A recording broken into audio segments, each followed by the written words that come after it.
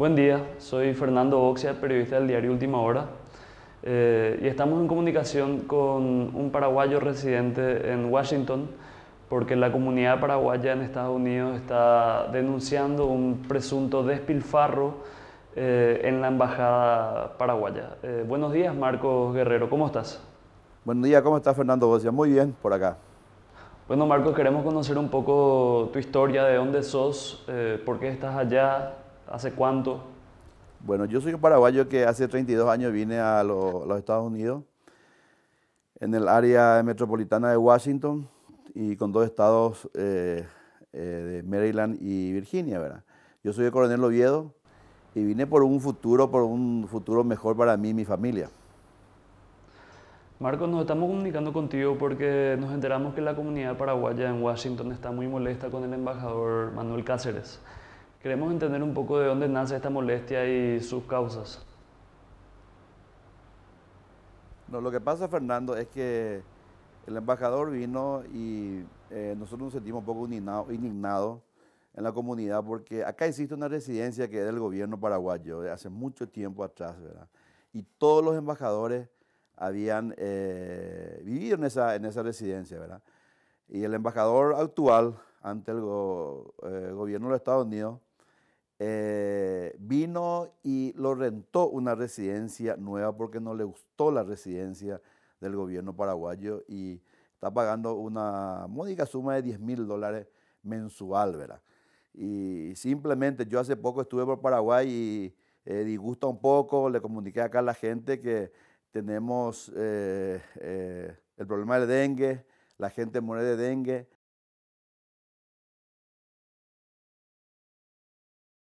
eh, falta insumos en los, en los hospitales y duele saber que compatriotas están muriendo de dengue y acá eh, como este señor prácticamente está despilfarrando el dinero del pueblo, ¿verdad?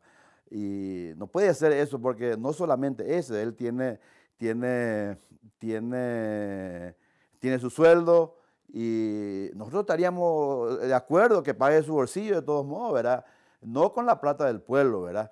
Y vive a cuerpo de rey, ¿verdad? Yo entiendo que un eh, embajador tiene que vivir en un lugar respetable, pero hay muchos lugares respetables que también la renta es más poco. Y es mentira que la residencia no es habitable, porque la residencia es habitable justamente.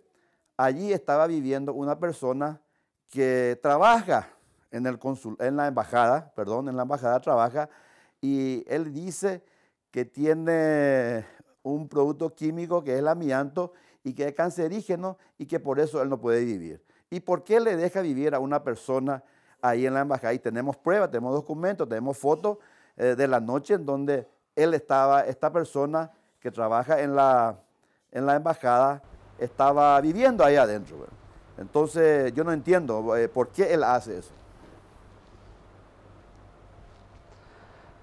Marcos, ¿cuáles son las condiciones de la residencia paraguaya en Washington, la que pertenece al gobierno? Eh, tengo entendido que ya hospedó a, a varios embajadores. Mira, Fernando, ya está un poco abandonada, ¿verdad? Eh, yo conozco la casa, he hecho trabajo ahí desde el embajador cuando estaba eh, Pancracio, después estuvo el embajador Germán Roja. de cierta forma le, le falta algunos arreglos, ¿verdad? Eh, y, la peor parte es la parte que le entra agua y que produce humedad, es la parte de atrás de la casa, ¿verdad?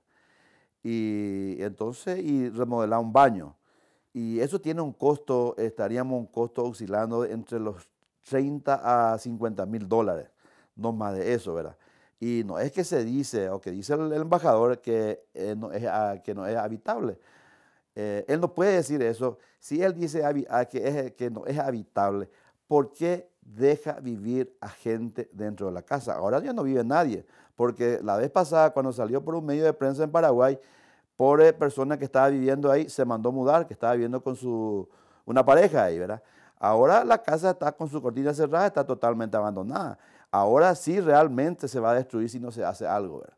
Pero la casa es habitable con alguna suma. Por eso eh, sería interesante que eh, el gobierno paraguayo, el ministerio, de eh, cobertura y se abran las puertas a, los contratistas y se diga exactamente lo que quiero. Yo hablo con propiedad porque he trabajado.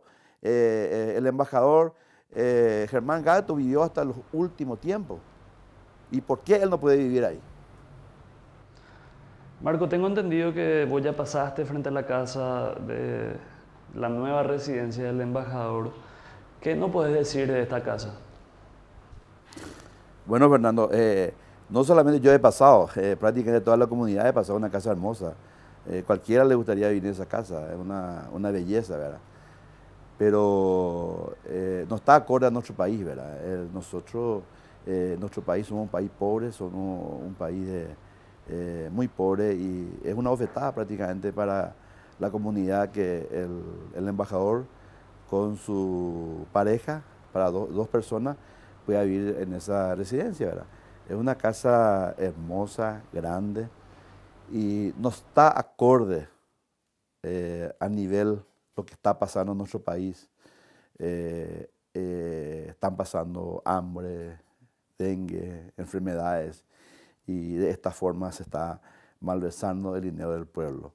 Son 10 mil dólares de renta mensual, eso implica 120 mil dólares anuales con 120 mil dólares anuales, demasiado, muchas cosas se puede hacer en nuestro país.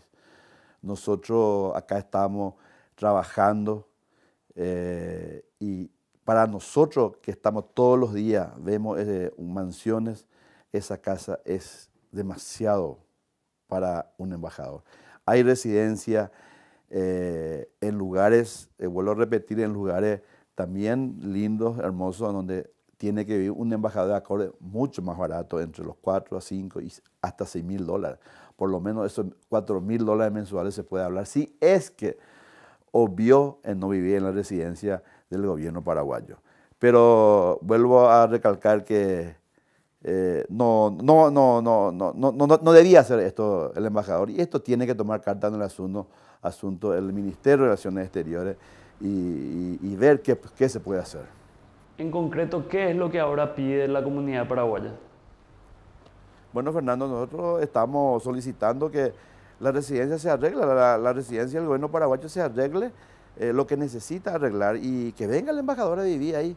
No puede ser que todos los embajadores eh, vivieron en esa residencia y, y, por qué él va a ser una persona especial en ir a rentar otro lugar. Vuelvo a, a repetir, son 10 mil dólares mensual, 120 mil dólares anual. Entonces, lo que nosotros eh, pedimos, vuelvo a recalcar, es que se arregle la casa y, con un costo lo que se tenga que gastar. Yo ya hablé ya del monto anteriormente y, bueno, eh, eso es lo que nosotros pedimos, ¿verdad? que yo creo que no es una cosa imposible. Pero acá está lo que eh, nos, no, no, enteraron según un comentario extraoficial y lo que realmente va a quedar mal y si esto es en serio, eh, realmente no eh, va a ser algo serio, ¿verdad? Nosotros escuchamos por ahí que la residencia actual donde está viviendo el embajador, que está saliendo por 2.6 millones de dólares, está queriendo hacerle comprar al gobierno paraguayo. Y la residencia actual del gobierno paraguayo está por los 1.8, 1.7 millones de dólares. Y acá viene lo que nosotros escuchamos es que es la, residencia, la residencia vieja del, gobierno paraguayo se quiere mal vender, ¿verdad?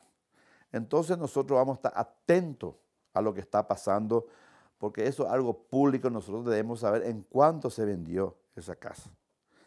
Y vamos a quedar con una deuda. ¿Por qué vamos a quedar con una deuda de un millón de dólares si por ahí se malvende esa casa? No podemos nosotros con, lo que, con la necesidad que hay en nuestro país. Por eso yo vuelvo a repetir la necesidad, porque hay mucha necesidad en nuestro país. Y en vez de ese dinero que se malgasta acá, se tiene que invertir en el Paraguay. Acá es simple la situación. Se, se, gasta en la residencia, en la residencia actual del gobierno paraguayo y él viene a vivir. Y nada más.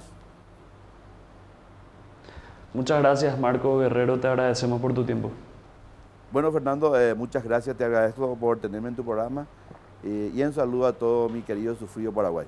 Muchas gracias, Fernando.